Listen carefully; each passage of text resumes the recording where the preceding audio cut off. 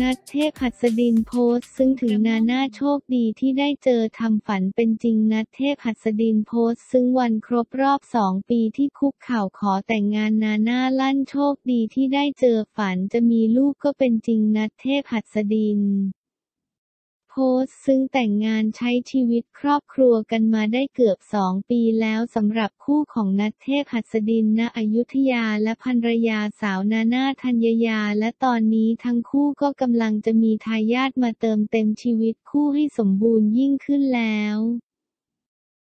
และเนื่องในโอกาสวันที่ 4 มกราคม 64 เป็นวันครบรอบที่หนุ่มนัดคุกเข่าขอภรรยาแต่งงานเจ้าตัวเลยได้โพสต์ภาพอดีตวันหวาน พร้อมเผยว่าครบรอบ 2 ปีแล้วที่เขาคุกเข่าขอหมูแต่งงานที่เมืองในฝันของเรา ไม่น่าเชื่อว่าวันนี้ครอบครัวเรากำลังจะมีสมาชิกใหม่มาเติมเต็มให้ความฝันเราเป็นจริงสักที ขอบคุณนะคะที่เป็นเพื่อนคู่คิดคู่ชีวิตที่ดีเขาโชคดีที่ได้เจอหมู ไม่ขออะไรมากกว่านี้แล้วนอกจากให้แม่หมูและลูกหมูแข็งแรงทั้งคู่ ให้ลูกคลอดปลอดภัยสมบูรณ์ทั้งกายและใจนะคะรักหมามีนะคะรักลูกหมูด้วยรักที่สุดเลย นาตาลีเปิดใจรักลงตัวคบมาสู่สองปีเผยฝ่ายชายพูดตรงไม่เคยอวยผ่านจุดชนะใจนาตาลีปนาลีเปิดใจรักหวานลงตัวคบพระเอกหนุ่มมาสู่สองปีแล้วประทับใจฝ่ายชายพูดตรงไปตรงมาไม่เคยอวยไส้แตกผ่านจุดชนะใจ เกาะติดข่าวกดติดตามข่าวสดเพิ่มเพื่อนเปิดตัวหวานอย่างเป็นทางการต้อนรับปีใหม่ 2564 สำหรับคู่รักพระนางร่วมช่องนาตาลีปนาลีวรุณวงศ์กับพระเอกหนุ่มมาสุจันยางดีกุลหลังเคยร่วมงานกันในละคร ดาวหลงฟ้าจนกลายเป็นคู่รักจริงนอกจอแม้ทั้งคู่ไม่ค่อยได้ลงภาพคู่ในไอจีแต่ในวันปีใหม่ที่ผ่านมาทำเอาแฟนๆฮือฮาไม่น้อยกับภาพคู่สุดสวีททริปทะเลสมุย ล่าสุดนาตาลีเปิดใจกับข่าวสดออนไลน์ ถึงความรักกับหนุ่มมาสุคบมาสองปีแล้วไปปิ๊งกันตอนไหนผ่านจุดชนะใจได้อย่างไรมาสุนาตาลีพร้อมใจโพสต์รูปสุดท้ายของปีได้หวานมาก มาสุพีค inner โจพุ่ง ดำดิ่งบทบาทน้อมรับคำติ ข่าวสดอาทิตย์ใสนาตาลีแจงยิบลือปมไฮโซเป็กแฟนเก่าคบซ้อนเพลงชนทิดาลั่นเคยเชื่อใจมากปีใหม่ฮือฮามากมาสู่ลงภาพคู่เปิดตัว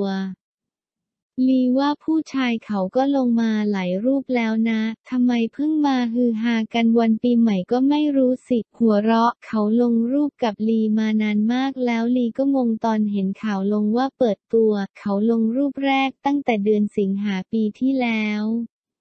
ลีก็เห็นเขาลงเรื่อยๆ ก็ไม่ได้รู้สึกตื่นเต้นอะไร เห็นข่าวตกใจไหม ตกใจตรงที่คำว่าเปิดตัวนี่แหละเราลงการมานานแล้ว หัวเราะคู่เราคุยกันมาสักพักใหญ่แล้วใช่ไหม คุยกันมานานหรือยัง ใช่ครับประมาณสองปีกว่าลีคิดว่ามาสุเขาเป็นคนที่ไม่ค่อยพูดเรื่องพวกนี้อยู่แล้ว ตอนที่เขาโพสต์รูปนั้นเราก็งงเหมือนกัน เพราะปกติด้วยนิสัยของเขาเป็นคนชอบอยู่เงียบๆเขาเป็นคนไม่อยากให้มาโฟกัสที่ชีวิตเขา อยากให้มีแค่เรื่องงานตอนที่เขาตัดสินใจลงเขาก็พูดว่า เธอเธอดูไอจีเราสิเราเห็นเขาลงแล้วเราก็เลยลงตาม ไม่ใช่รูปแรกที่เขาลงรูปคู่เราไม่ใช่เขาลงมานานแล้วตอนที่เห็นข่าวลีก็ยังงงคนคอมเมนต์ว่าเปิดตัวตัวเปิดกันมานานแล้วนะงงนั้นเนี่ย หัวเราะคู่เราเป็นสไตล์ไหนหวานไหมหรือเรียบง่าย ลีก็เป็นสไตล์ธรรมดาไม่ได้มีโมเมนต์หวานอะไรมากขนาดนั้น เน้นเรียกง่ายมากกว่าเป็นนักแสดงช่องเดียวกันไปถูกใจปิงปังกันตอนไหนยังไง ลีรู้จักกับพี่มามานานมากๆแล้ว เพราะอยู่โรงเรียนมัธยมเดียวกัน แล้วน้องชายเขาก็เป็นรุ่นน้องเราที่โรงเรียน ก็คือรู้จักกันมานานแล้วแหละจนกระทั่งวันหนึ่งมาเจอกันที่งานของช่อง เขาก็เลยทักว่าจำพี่ได้ไหม เราก็บอกจำได้ได้พี่ชายกันกันใช่ไหมก็ทักกันประมาณนี้เขาก็คุยว่าเขาทำโน่นทำนี่อยู่นะ ก็คุยไปคุยมา เขามาจีบเรานั่นแหละใช่ไหม เข้ามาจีบหรือเปล่าหนูคิดว่าก็คงจะอย่างนั้นล่ะค่ะ ตอนแรกด้วยความที่มีเพื่อนกลุ่มเดียวกันหลายคน บังเอิญเจอกันตามรียูเนียนของโรงเรียนบ่อย ก็นึกว่าเขาแค่ทักมาเพราะอยู่วงการเดียวกันแล้วบังเอิญอยู่โรงเรียนเดียวกันอีก ตอนแรกก็คิดแค่นั้น แต่พอคุยไปคุยมาเขาก็คงจีบแหละ เขาก็ทักมาทุกวันมันก็น่าจะใช่ค่ะ หัวเราะอะไรที่ทำให้รู้สึกว่าเขาชนะใจเรา เขามีความตรงไปตรงมาสูงอะไรเขาทำได้เขาจะบอกเขาทำได้อะไรที่เขาทำไม่ได้เขาจะบอกว่าทำไม่ได้ เขาจะพูดทุกอย่างที่เป็นความจริงโดยไม่อวยไส้แตกอะไรที่เราทำดี เขาก็บอกว่าดี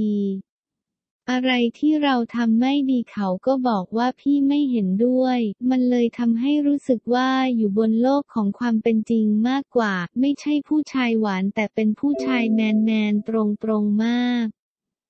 ใช่เมื่อก่อนเราชอบผู้ชายที่มีนิสัยแบบผู้หญิง เมามอยด้วยได้จิปาถะเหมือนเพื่อนสาว เพราะเวลาคุยด้วยมันสนุกแต่พอไปไปมามาอวยกันไปอวยกันมาพอถึงเวลาเกิดอะไรขึ้นมาต่างคนก็ต่างไม่กล้าพูดพอจะเลิกปุ๊บก็ตุ้มเลย แต่เขามีความเป็นผู้ใหญ่ผู้ใหญ่ตรงตรงชัดเจน ใช่เป็นคนตรงไปตรงมา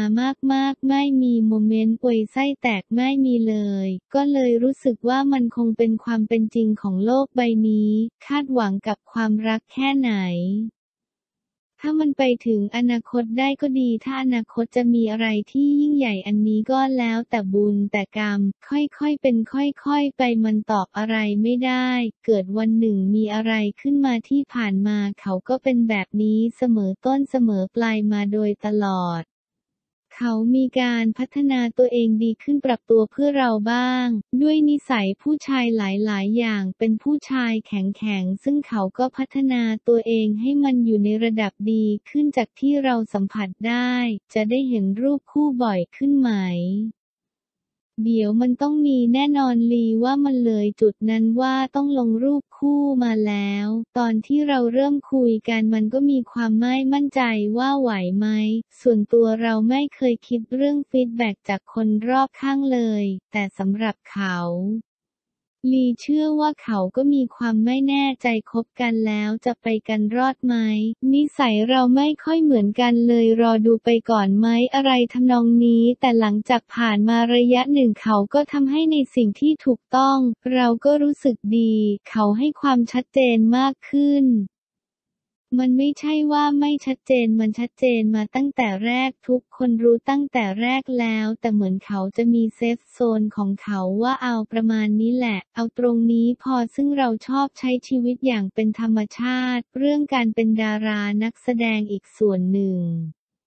ส่วนชีวิตเราจริงๆ ที่อยู่บนโลกใบนี้ก็ส่วนหนึ่ง ซึ่งทุกอย่างก็ดำเนินไปในทางที่ดี แฟนคลับเราทั้งคู่รู้มาตลอดใช่ไหมว่าเราคบกัน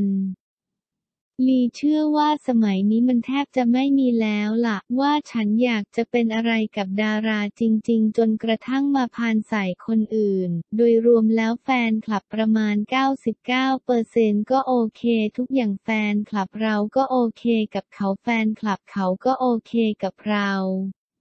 เรียกว่ารักเราแฮปปี้เนาะ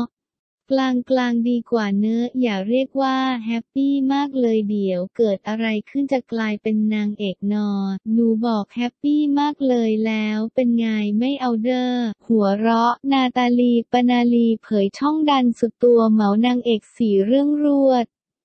รักแฮปปี้หนุ่มนอกวงการมาสู่ดีใจคนเกลียดโดนด่าเละเจ้าชู้ปัดแย่งซีนเกรทวรินทร์